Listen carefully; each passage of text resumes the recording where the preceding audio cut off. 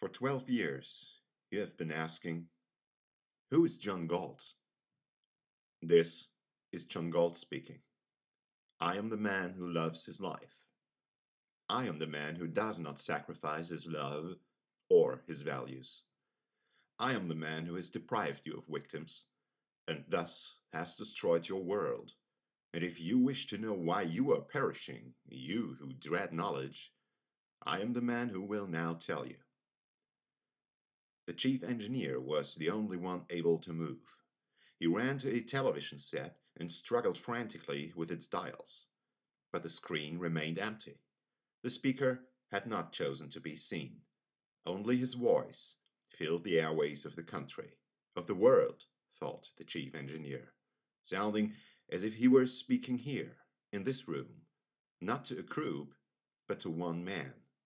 It was not the tone of addressing a meeting, but the tone of addressing a mind. You have heard it said that this is an age of moral crisis. You have said it yourself, half in fear, half in hope, that the words had no meaning.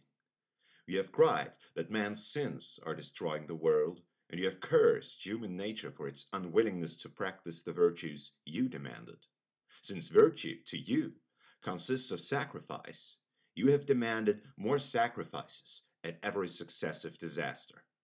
In the name of a return to morality, you have sacrificed all those evils which you held as the cause of your plight. You have sacrificed justice to mercy. You have sacrificed independence to unity. You have sacrificed reason to faith. You have sacrificed wealth to need. You have sacrificed self esteem to self denial. You have sacrificed happiness to duty. You have destroyed all that which you held to be evil, and achieved all that which you held to be good. Why, then, do you shrink in horror from the world around you? That world is not the product of your sins, it is the product and the image of your virtues. It is your moral ideal brought into reality in its full and final perfection. You have fought for it, you have dreamed of it, and you have wished it. And I, I am the man who has granted you your wish. Your ideal had an implacable enemy, which your code of morality was designed to destroy. I have withdrawn that enemy. I have taken it out of your way and out of your reach. I have removed the source of all those evils you were sacrificing one by one. I have ended your battle. I have stopped your motor. I have deprived your world of man's mind. Men do not live by the mind, you say. I have withdrawn those who do. The mind is impotent, you say. I have withdrawn those whose mind isn't. There are values higher than the mind, you say. I have withdrawn those for whom there aren't. While you were dragging to your sacrificial altars the man of justice, of independence, of reason, of wealth, of self esteem, I beat you to it. I reached them first. I told them the nature of the game you were playing and the nature of the moral code of yours which they had been too innocently generous to grasp. I show them the way to live by another morality, mine. It is mine that they chose to follow. All the men you have banished, the men you hated yet dreaded to lose, it is I who have taken them away from you. Do not attempt to find us. We do not choose to be found. Do not cry that it is our duty to serve you. We do not recognize such duty. Do not cry that you need us. We do not consider need a claim. Do not cry that you own us. You don't. Do not beg us to return.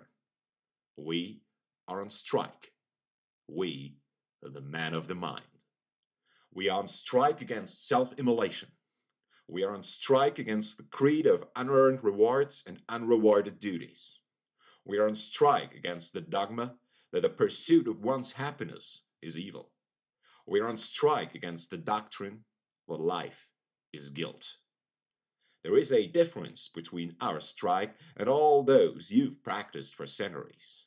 Our strike consists not of making demands, but of granting them. We are evil according to your morality. We have chosen not to harm you any longer. We are useless according to your economics. We have chosen not to exploit you any longer. We are dangerous and to be shackled according to your politics. We have chosen not to endanger you, nor to wear the shackles any longer. We are only an illusion according to your philosophy.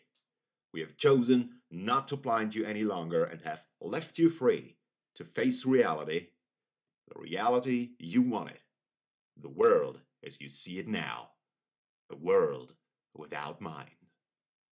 We have granted you everything you demanded of us, we who had always been the givers, but have only now understood it. We have no demands to present to you, no terms to bargain about, no compromises to reach. You have nothing to offer us. We do not need you. Are you now crying, No, this was not what you wanted? A mindless world of ruins was not your goal? You did not want us to leave you? You moral cannibals, I know that you've always known what it is that you wanted. But your game is up, because now we know it too. Through centuries of scourges and disasters brought about by your code of morality, you have cried that your code had been broken, that the scourges were punishment for breaking it, that men were too weak and too selfish to spill all the blood it required. You damned man, you damned existence, you damned this earth, but never dared to question your code. Your victims took the blame and struggled on, with your curses as reward for their martyrdom, while you went on crying that your code was noble, but human nature was not good enough to practice it. And no one rose and asked the question, good by what standard? You wanted to know John Galt's identity. I am the man who has asked that question. Yes, this is an age of moral crisis. Yes, you are bearing punishment for your evil. But it is not man that is now on trial, and it is not human nature that will take the blame. It is your moral code that's through this time. Your moral code has reached its climax, the blind alley at the end of its course. And if you wish to go on living, what you now need is not a return to morality, you, who have never known any, but to discover it. You have heard no concepts of morality but the mystical or the social. You have been taught that morality is a code of behavior imposed upon you by whim, the whim of a supernatural power or the whim of society, to serve God's purpose or your neighbor's welfare, to please an authority beyond the grave or else next door, but not to serve your life or pleasure. Your pleasure, you've been taught, is to be found in immorality. Your interests would best be served by evil, and any moral code must be designed not for you, but against you, not to further your life, but to drain it. For centuries, the battle of morality was fought between those who claimed that your life belongs to God and those who claimed that it belongs to your neighbors. Between those who preach that the good is self sacrifice for the sake of ghosts in heaven and those who preach that the good is self sacrifice for the sake of incompetence on earth. And no one came to say that your life belongs to you and that the good is to live it. Both sides agreed that morality demands the surrender of your self interest and of your mind, that the moral and the practical are opposites, that morality is not the province of reason, but the province of faith and force both sides agreed that no rational morality is possible, that there is no right or wrong in reason, that in reason there is no reason to be moral. Whatever else they fought about, it was against man's mind that all your moralists have stood united. It was man's mind that all their schemes and systems were intended to despoil and destroy. Now choose to perish or to learn that the anti-mind is the anti-life. Man's mind is his basic tool of survival. Life is given to him. Survival is not. His body is given to him. Its sustenance is not. His mind is given to him. Its content is not. To remain alive, he must act. And before he can act, he must know the nature and the purpose of his action. He cannot obtain food without a knowledge of food and of the way to obtain it.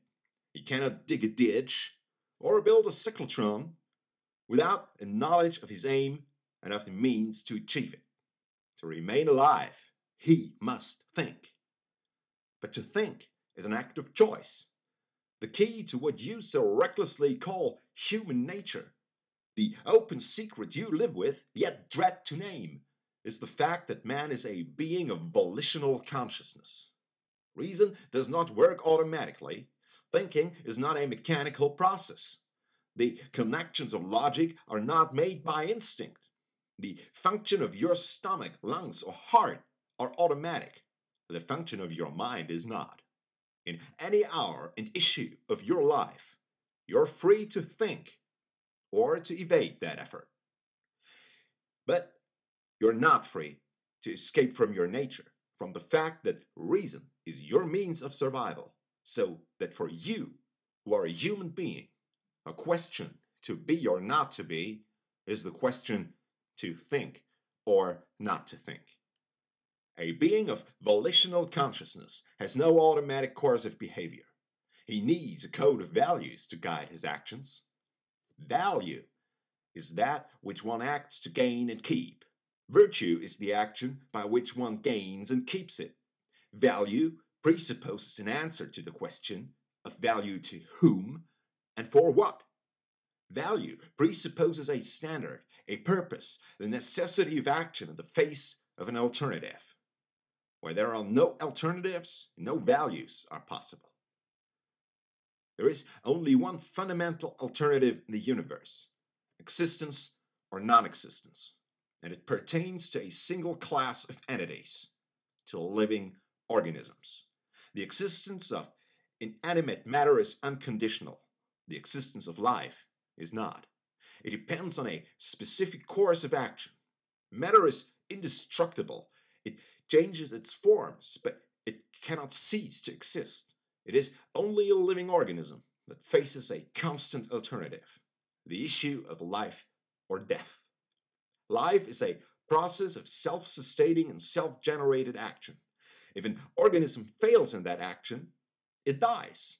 Its chemical elements remain, but its life goes out of existence. It is only the concept of life that makes the concept of values possible. It is only to a living entity that things can be good or evil. A plant must feed itself in order to live. The sunlight, the water, the chemicals it needs are the values its nature has set to its pursuit. Its life is the standard of value directing its actions. But a plant has no choice of action. There are alternatives in the conditions it encounters, but there is no alternative in its function. It acts automatically to further its life. It cannot act for its own destruction. An animal is equipped for sustaining its life. Its senses provided with an automatic code of action, an automatic knowledge of what is good for it or evil. It has no power to extend its knowledge or to evade it.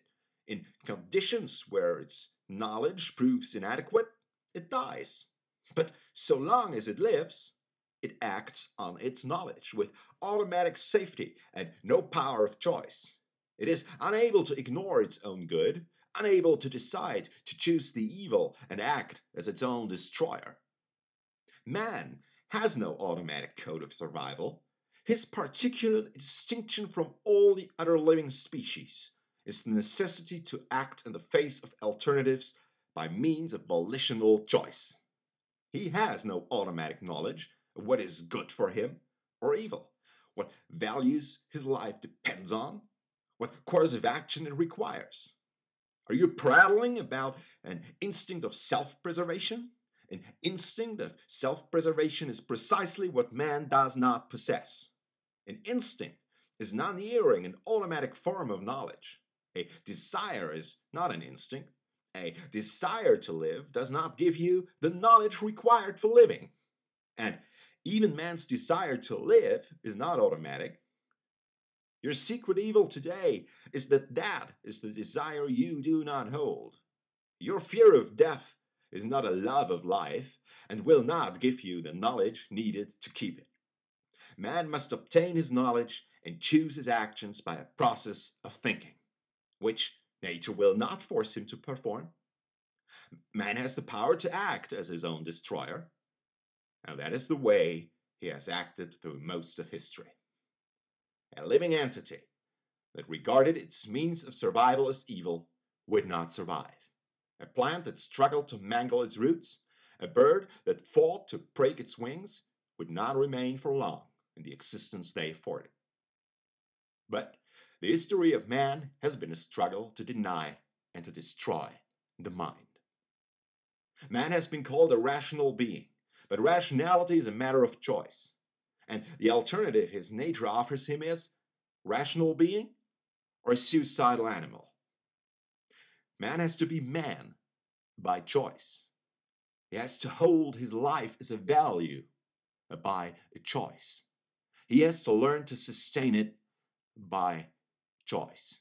He has to discover the values it requires and practice his virtues by choice. A code of values accepted by choice is a code of morality.